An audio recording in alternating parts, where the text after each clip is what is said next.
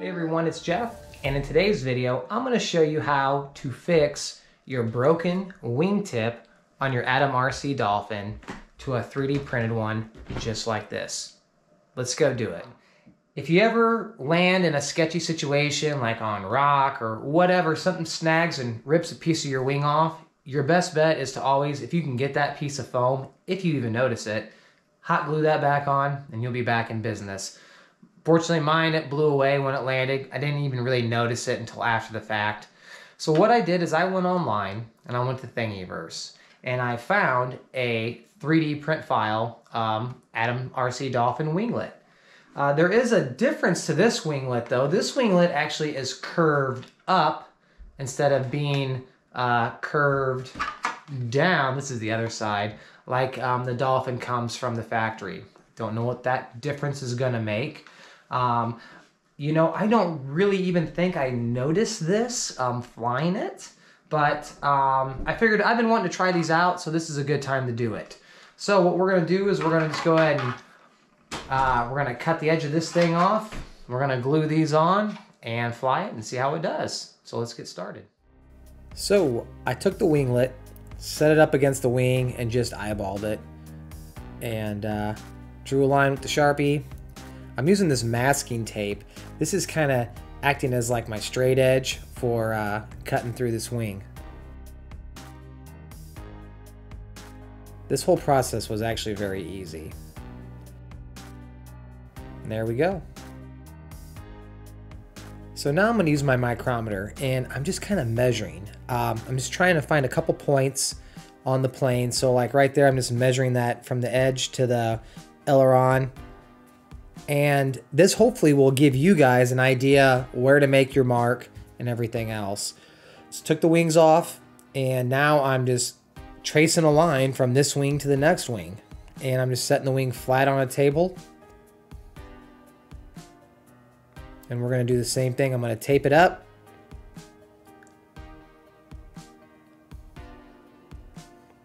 And now I'm gonna grab my micrometer and I'm gonna check those measurements from the other wing. And they're right on the money, so everything's looking good. So I'm gonna put the wings back on, and that's just so I can hold everything. And I'm gonna cut this wing tip off too as well. Measured it out, measured it, compared it to the other side. Everything's looking great. And there you go. I'm piece of cake. Piece of absolute cake. So we have a few options to glue this to this. Uh, number one, we have the trusty hot glue gun. Number two, we have E6000 shoe goo. And then number three is we have the white foaming Gorilla Glue. I'm thinking what I'm going to do is I am going to, I'm going to use hot glue at first. And the reason I say that is this piece, I printed it, it's paper thin. It's it's 0% um, infill, it's hollow on the inside, uh, it's very light. So if I land and I screw this thing up and it is permanently bonded to this foam, well then now the wing is done. If I hot glue it, it should probably stay on. I mean, there's a ton of stuff on this plane that's hot glued and it is still holding together. Um, and then if I screw this up with hot glue, I can separate it, print another one, so on and so forth. So we're gonna heat the hot glue gun up and glue it on. One thing I should mention too is we're adding weight to our plane. All these 3D printed pieces, skids and all this, it adds weight to the plane. How much weight is it though? So I got my scale here zeroed out and that is 11 grams with those pieces. Now that's printing it ultra light. That's printing it with zero infill, light as possible. Um, let's say I gotta use a glue stick to adhere this. Say we use a whole little thing of glue stick. How much does that make it weigh? 15 grams, okay? What, how much did the pieces we cut off weigh? Three grams. so, yeah.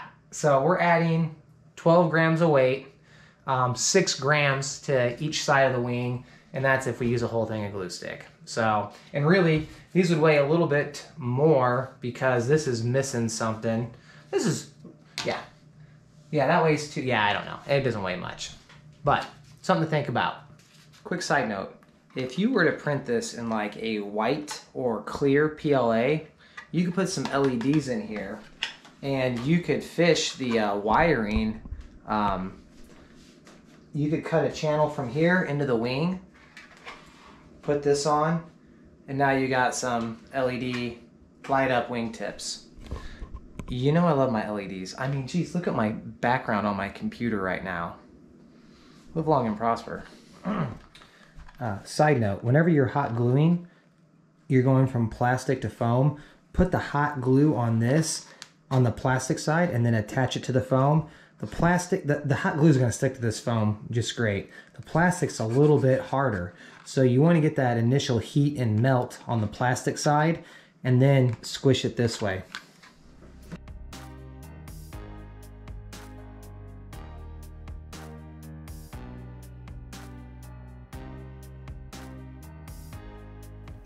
Now, the last thing I did is I went around the edge of this and I just put a nice little bead of hot glue and then I just give it a quick smear uh, just to keep everything uh, nice and flat and just a little extra precaution. Alrighty, everything's ready to go. We're gonna launch it. I'm gonna put it through an extreme test, see if everything stays on, and I'm gonna do it from inside my car with some heated seats. It's awesome.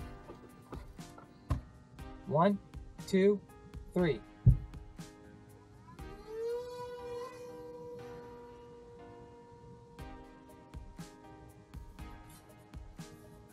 Man, I'm telling you what, I think I think this plane launches better with INAV 7. Okay, well let's see if we can turn the camera and see our wingtips. That one's still on. That one's still on. Uh, we're gonna take it out of Nav loiter. Camera is rolling. I'm just letting it do its thing in angle mode. All right, we're gonna go to full manual. We're gonna punch this thing up to about 10 amps, 11 amps. And we're just gonna give this thing a whirlwind.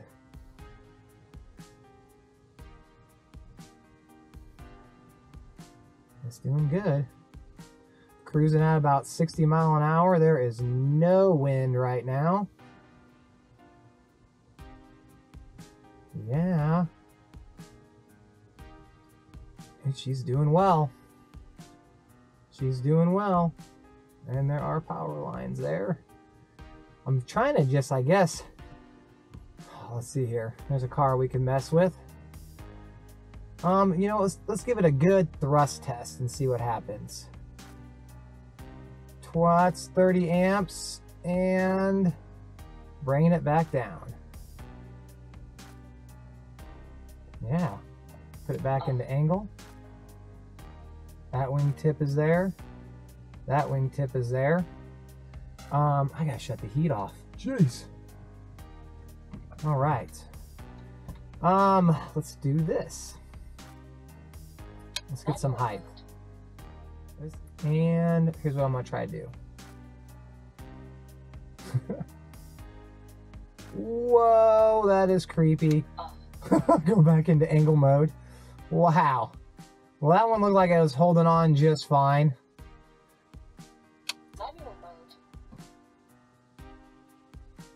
I'm just trying to like G this thing out. Yeah, it seems like it's doing pretty good. I think we're in business, everyone. I don't think there's anything anything to fret. I don't think that there is anything to fret.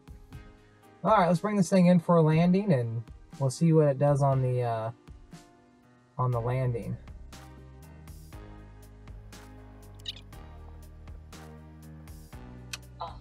Okay, I'm in horizon. I've just switched manual off. We're gonna get this thing down by us. I'm just barely moving. I'm going kind of fast, not gonna lie. There we go. That's probably halfway down the road. Let's go find it. All right, everyone. The plane landed perfect. Um, nothing's loose. Everything's fine. Um, I don't have to worry about ripping these foam pieces off anymore, I'm gonna call this project a 10 out of 10. This was perfect. Um, it flew great, it launched great. It did everything I wanted to do without any issues.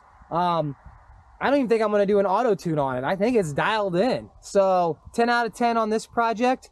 We're gonna call this video a wrap. It is gorgeous out. I'm heading to town. I'm gonna go fly while the sun is still up. We'll see you on the next video. Take care. Bye.